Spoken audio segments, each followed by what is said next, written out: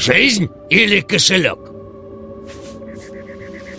Если честно, такой расклад мне нравится больше всего.